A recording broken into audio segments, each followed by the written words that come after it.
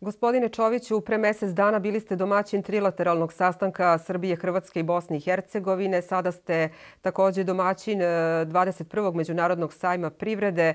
E, zemlja partner ovogodišnje manifestacije je Srbija. Šta očekujete od ovogodišnjeg sajma i koliko on može doprineti još većem povezivanju e, Srbije, Bosne i Hercegovine i svih zemalja regiona? Očekujem jako mnogo i evo, ja sam uistinu radostan da uz 21. sajam kao zemlju partner imam Republiku Srbiju. Jedna velika zahvala prije svega predsjedniku Vučiću koji je prošle godine kada smo bili zajedno ovdje eh, prihvatio da već unaprijed godinu dana znamo da će Republika Srbija biti zemlja partner. To znači, znači mnogo. Ovo je jedna od najsnažnijih u organizacijskom i svakom drugom smislu broja izlagača, broja zemalja koje tu učestvuju, sajamski manifestacije općeg tipa u ovom našem bližem području.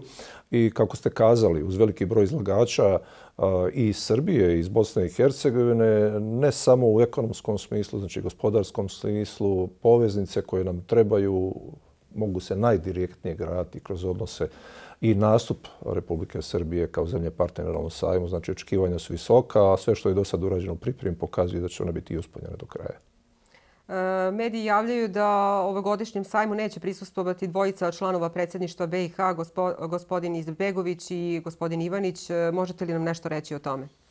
Pa ne vidim potrebu da nešto posebno pričam. Što se tiče dvojice kolega, oni su pozvani na otvaranje sajma u utorak ujutru. Gospodin Ivanić je van zemlje i rekao mi je da ne može biti nazočan, a onda jednostavno nisam insistirao da drugi kolega dođe da ne bude da imamo neki sad asimetriju u našoj organizaciji. Čini mi se da će sutra biti dovoljno gostiju iz e, Bosne i Hercegovine, svih razina vlasti, nositelji izvršne zakonne političke, svi naši susjedi, što je praksa ovog sajma, znači i predsjednik Vujanović, predsjednik naravno vlade Republike Hrvatske i zemlja partner, predsjednik e, Vučić. I ovaj put je specijalni gost, ja bih kazao, predsjednik vlade Bugarske kao zemlje presjedatelja Europskom unijom. Sastaćete se i sa predsjednikom e, Srbije Aleksandrom Vučićem. Šta će biti ključne teme vašeg susreta? Pa od kad smo se upoznali, ja i predsjednik Vučić, ja mislim da je ta suradnja izvrsna i dok je bio u drugim ulogama, kao i danas kada je predsjednik države. Prima razgovarat ćemo u svim temama koje su ostale nedovršene, uprkos nekim e, pokušajima zadnjih godinu dana da ubrzamo jednu dinamiku e, rješavanja svih otvornih pitanja između Bosne i Hercegovine i Republike Srbije. Znači, kako pojačati našu gospodarsku suradnju, bez dobro je u pitanju infrastruktura, prometna, energetska, e, tržišna razmjena koja se može evidentno dignuti oba smjera na jednu mnogo više razinu, iako ovako imamo najznačajnijeg trgovinskog partnera sutra tu, ali ja vjerujem i na ovoj političkoj razini da je nužnost kontinuitet naših razgovora. Kako na ovoj razgovori predsjedništa Bosne i Hercegovine, naših članova za, sa predsjednikom Republike Srbije, tako i na razini predsjednika vlada, pojedinih resornih ministarstava, jer pitanje granica između Republike Srbije i Bosne i Hercegovine postaje strateško pitanje Bosne i Hercegovine. Mi bi želi to pitanje što prije i okončati kao otvorno pitanje. A to bi uveliko pomoglo i Bosni i Hercegovini, a i Republike Srbije. Jedna od gorućih tema trenutno u Bosni i Hercegovini je promjena izbornog zakona. E, šef delegacije Evropske unije u Bosni i Hercegovini, gospodin Vigemark, nedavno izjavio da Evropska unija nema rezervni plan u slučaju da e, ne bude postignut dogovor o promjeni izbornog zakona do početka maja.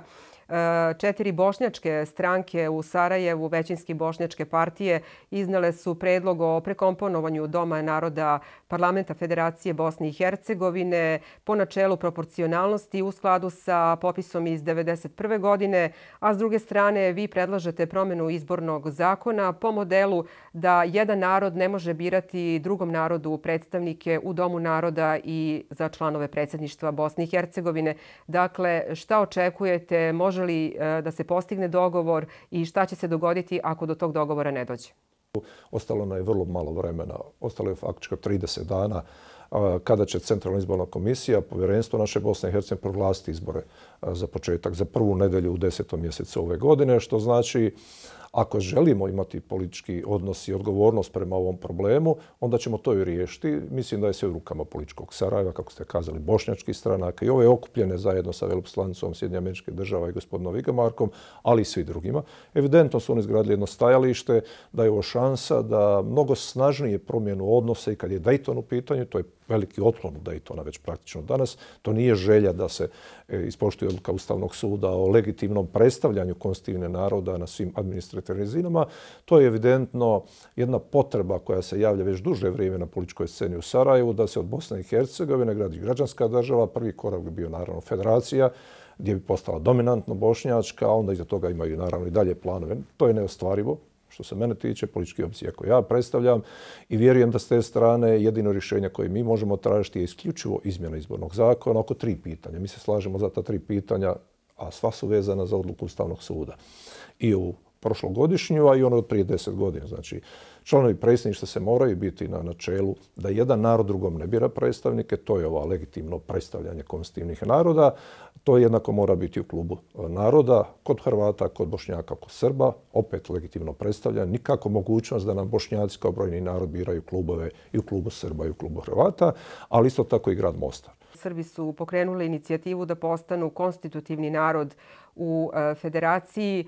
E, žale se da nemaju pravo na svoj jezik i na pismo, kao i e, da zbog toga što nisu konstitutivni narod ne mogu da dođu lako do posla u kantonalnim institucijama i u javnim preduzećima. Može li se nešto učiniti da se popravi njihov položaj? Zajedničko. Na nama je osobito u Mostaru, sad ću kazati i ovom dijelu Hercegovine, jer moramo kazati iz ovog prostora je sjelio ogroman broj Srba, simboličan broj se vratio.